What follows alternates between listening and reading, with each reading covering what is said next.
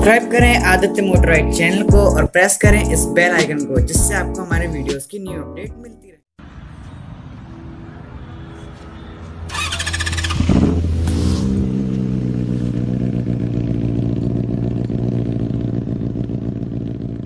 तो जैसा कि हमने आपको हमारे प्रीवियस वीडियो में होंडा की C B R two fifty R का फुल रिव्यू दे दिया है।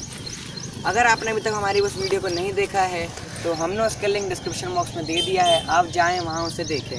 तो हमने उस वीडियो में ये भी कहा था कि हम इसके नेगेटिव और पॉजिटिव पॉइंट्स भी आपके लिए लेकर आएँगे। तो आज हम बात करते हैं इसके नेगेटिव पॉइंट्स के बारे में और नेक्स्ट वीडियो में बात करेंगे इसके पॉजिटिव पॉइंट्स पे। तो इसका फ़र्स्ट नेगेटिव पॉइंट निकल के आता है, वो है इसका फ्रंट मास्क मैंने इस बाइक को approx thirty thirty five kilometre तक राइड कर चुका हूँ। और जो मेरे को छोटी सी प्रॉब्लम जो उसके राइडिंग पॉस्टर के बारे में लगी है, वो उसके फ्रंट मास्क पे लगी है। इसका जो फ्रंट मास्क है, वो अप्रो थर्टी टू फोर्टी की स्पीड में वाइब्रेट करने लगता है, जो कि बहुत ही नॉर्मल स्पीड है। तो होंडा कंपनी इसमें थोड़ा सा इम्प्रूवमेंट कर सकती है। बात करते हैं उसके सेकेंड नेगेटिव पॉइंट के बारे में तो उसका सेकेंड नेगेटिव पॉइंट निकल के आता है इसके इंडिकेटर्स पर। इसके जो इंडिकेटर्स हैं आपको एलईडी इंडिकेटर्स नहीं दिए जा सकते हैं, जाते हैं। जैसे कि आपने के टी एम की K T M Duke two hundred देखी होगी, उसमें आपको एलईडी इंडिकेटर दिए जाते हैं। तो ये टू फिफ्टी सी सी की सेगमेंट की बाइक है तो इसमें आपको एलईडी इंडिकेटर देना चाहिए था उसमें भी होंडा का हम थोड़ा सा इंप्रूवमेंट कर सकते हैं।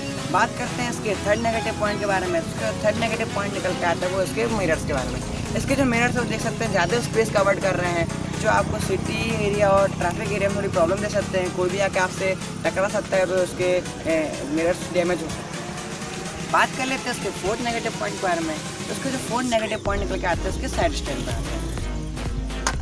तो जैसे कि आप देख सकते हैं, इसमें आपको साइड साइड स्टैंड इंडिकेटर का ऑप्शन नहीं दिया जाता है, जो कि बहुत बुरी बात है। होंडा कंपनी की तरफ़ से बहुत बड़ी मिस्टेक है, क्योंकि तो आजकल की बाइकों में जैसे आर एस टू हंड्रेड देख सकते हैं एन एस टू हंड्रेड देख सकते हैं, उसमें भी आपको साइड स्टैंड का ऑप्शन आता है, और छोटी मोटी छोटी बड़ी गाड़ी में भी इसके साइड स्टैंड का ऑप्शन आता है। तो उसमें थोड़ा इंप्रूवमेंट कर सकती है Honda company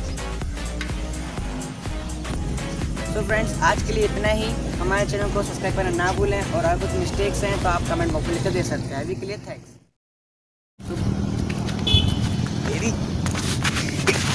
start start start अरे यार दिक्कत हो जा रही है यार। बंद कर।